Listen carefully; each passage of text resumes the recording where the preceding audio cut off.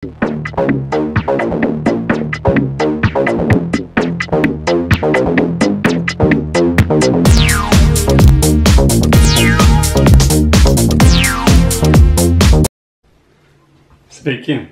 Šiandien gaminsim mėsą labai paprastai, bet kaip sako neprastai. Tam reikės tiesiog vieno svagūno, mėsos, druskos, pipirų. Citrinos aš neturiu, tai naudosiu štai tokią. Citrinos sultis tokias. Štai paimam dabar mėsą. Taip išmušam. Supjaustam tokiais storesniais truputį gabaliukais. Išmušam, kad jinai greičiau pasimarinuotų.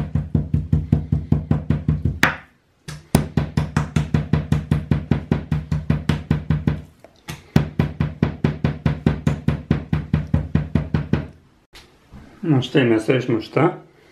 Dabar paimam iš to ant druskos.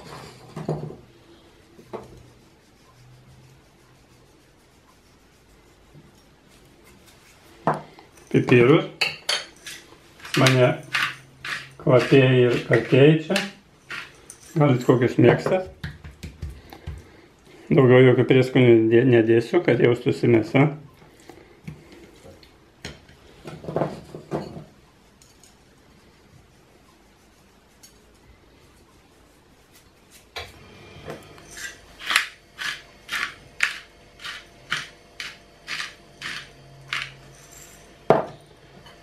Šitaip. Svagūną susipjaustam pusryčiais.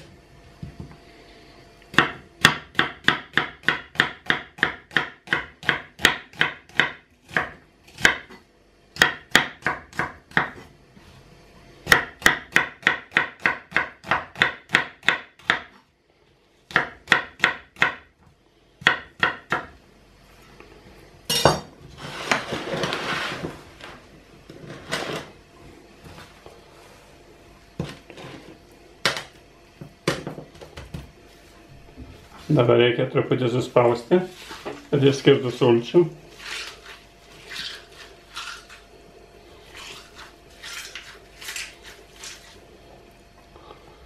Tai taip.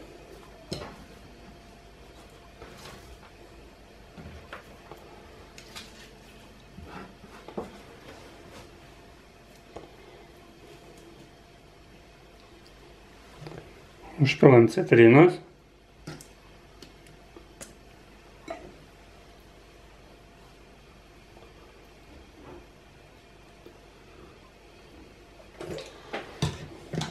Paskui truputį galėsim atversti.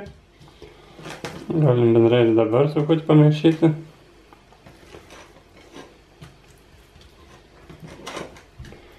Ir paliekam bent kokį 15 minučių 20 pasimarinuoti. O jeigu norit, galit per naktį. Uždengti tik tai reikia plevelę ir dėti šaldytuvą.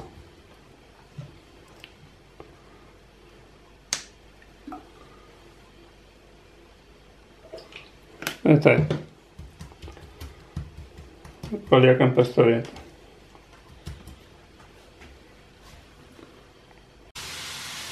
Na štai, mėsą kaip ir įsimarinavo.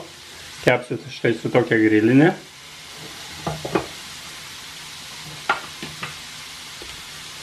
Dabar reikia nuimti svogūnus, jie nedegtų. Pat valgysiu su bulvėm, keptomis šiaudeliais ir su baltais ridikais.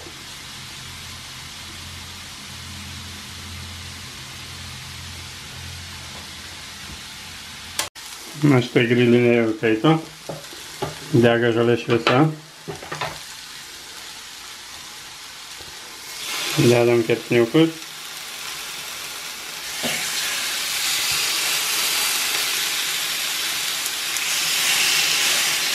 Galite puikiai kepti ir keptuvėse, keptuvėje, o paskui orgaitai tiesiog dabaigti. Šitai. Porą minučių ir kepsniukai bus iškepti.